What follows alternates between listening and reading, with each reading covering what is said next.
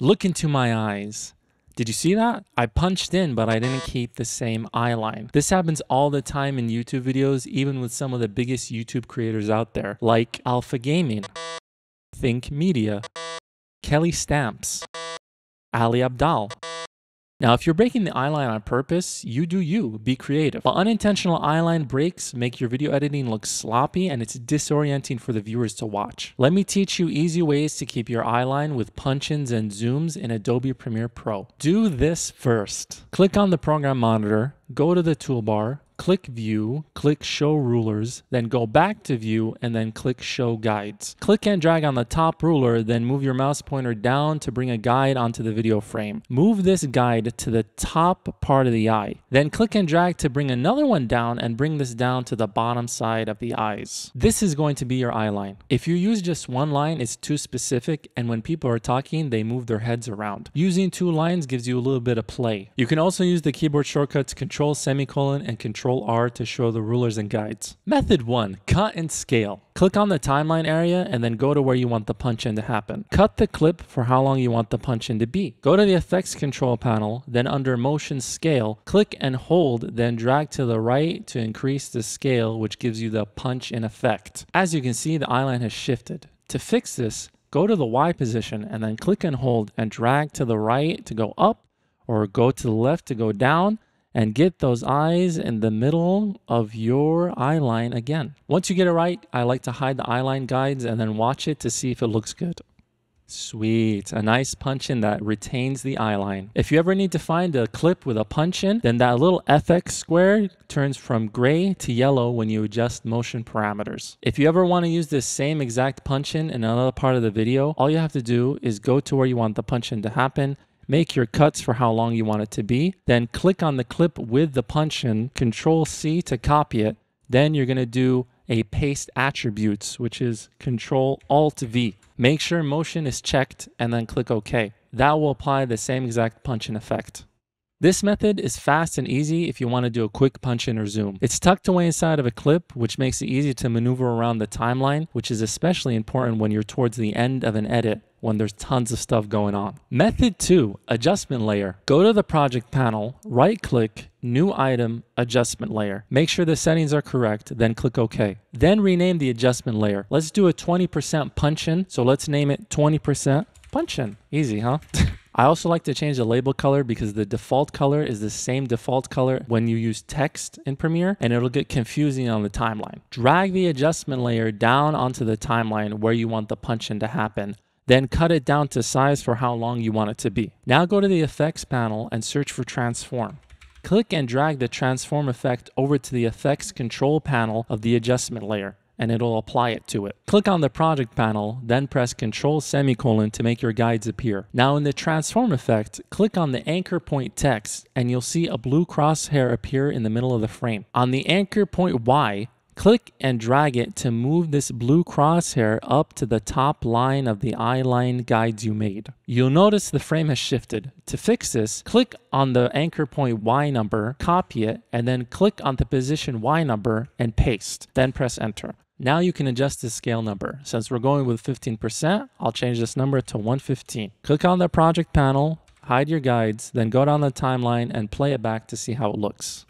Nice. In most video editing tutorials, you'll see people adjust both position and scale. I do the anchor point and then copy paste it to position because that way you will only need to keyframe scale rather than position and scale. And when you're doing zoom ins and you want to adjust the curves, it is hell in Premiere to get those curves between position and scale perfect. So instead of dealing with two keyframing things, I only have to deal with one, which is scale after you adjust anchor point position. Doing punch-ins and zooms with the adjustments layer method makes it easy to spot on the timeline and it also makes it easy to duplicate and put it in other places. If you want to apply the same punch in to another part of the video, go to the timeline, click on the adjustment layer, hold down the Alt key and then click and drag the adjustment layer to the position where you want the other punch in to happen. Another great way to keep organization is you can keep one video layer just for adjustment layers. So for example, I can make video layer 3, where all the adjustment layer punch-ins happen. Organization is key in video editing, trust me.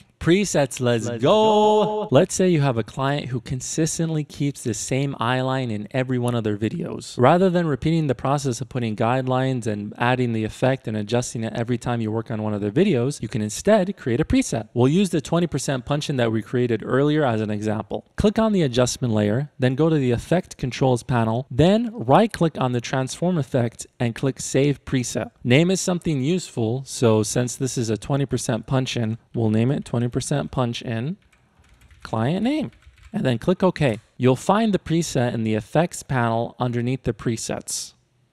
So then next time you work on a video of theirs, make an adjustment layer, drag it down to the timeline, cut it to how long you want it to be, then go to the effects, under presets, drag the preset over to the effect controls of the adjustment layer.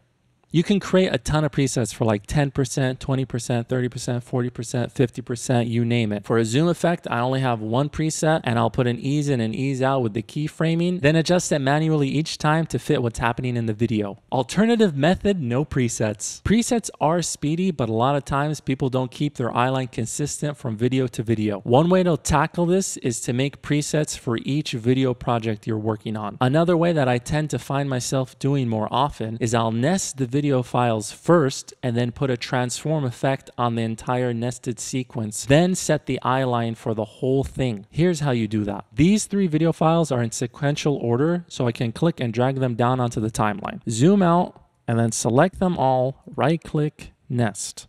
Name it something useful, talking head main. Now go to the effects panel, search for transform, then click and drag it onto the entire nested sequence. Find a spot in the video where they're looking straight at the camera. Then set your top and bottom eye guidelines. Go to the effects control panel and under transform, click on the anchor point text, move that crosshair to the top line, and then copy and paste it to position and press enter. And now to make a punch-in happen, all you have to do is go to where you want it to be, cut the clip, then increase the scale amount in the transform. I'm going to click on the monitor window and hide the guidelines and then watch it back. Yep, looks pretty sweet. Doing it this way is pretty quick, and if you adjust the scale amount differently each time, it gives it a handcrafted feel. The downside of using this method is it's hard to see where the punch-ins are on the timeline. So what I do to remedy this is that I change the label color of the clip. Click on the clip, right click, go to label, and change it to a different color of your choice. But instead of right clicking every single time, I've changed my keyboard shortcuts so Alt 1 to 0 changes it to a different label color. So you can click on the clip and I press Alt 4 for example and it changes the color. I'm arbitrarily changing the color to whatever just to show you as an example but you can choose whatever color you want and if you keep it consistent throughout the video you can be like okay everything that's a mango color is a punch in. When I want to do another punch in I go to where I want it to start, cut the clip, where I want it to end, cut the clip again, label it to the different color, and then just increase the scale. Once you get into the flow of doing it like this, it's pretty speedy. There you go. That's how you do punch-ins and zooms while retaining the very important eyeline.